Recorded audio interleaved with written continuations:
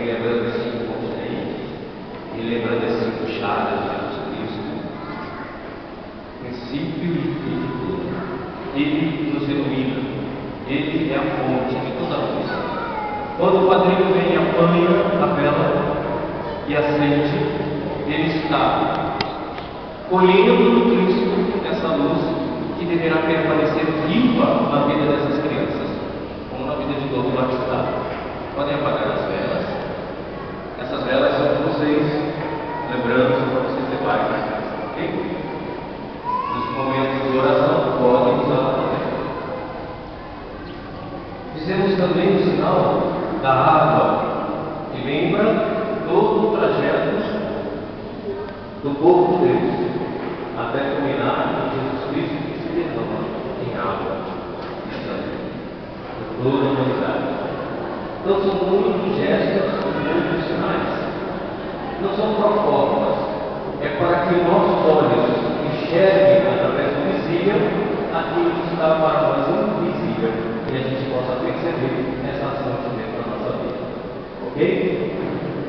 Vamos para a oração do Senhor através dos ritos finais. Essas crianças foram batizadas, são chamadas em Cristo a viver plenamente como filhos e filhas de Deus do Deus Pai. Por isso elas precisam também ser fortalecidas pelo Espírito Santo no sacramento da Crisma,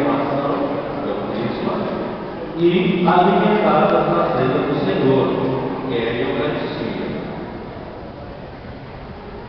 Agora, unidos no Espírito, pé, rezemos juntos a oração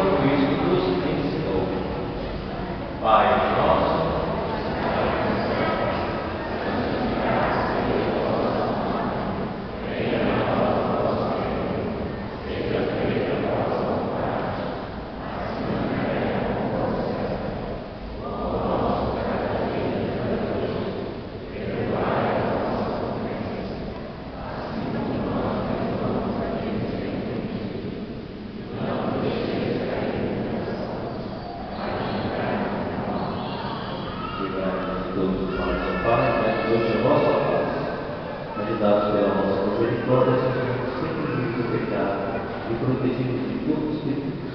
Nós vivemos essa esperança, abandonamos a vossa Cristo Salvador. Pois vós é o reino, o poder e a glória para sempre. Amém. Bênção. Ó Deus de bondade, abençoai as mães dessas crianças, para que sejam felizes, vendo seus filhos crescerem em idade sabedoria e graça em Cristo Jesus, nosso Senhor. Todos, amém. Ó Deus amor, abençoe os pais dessas crianças, a fim de que unidos às suas esposas tenham a alegria de oferecer condições de vida, de vida digna para seus filhos e o incentivo da fé. Em Cristo Jesus, nosso Senhor.